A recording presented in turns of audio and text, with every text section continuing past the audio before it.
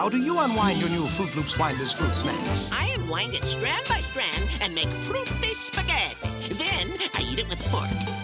There's 12 strands of fruity fun in every Froot Loops Winders, new from Kellogg's. How do you unwind? How do you unwind your new Froot Loops Winders fruit snacks?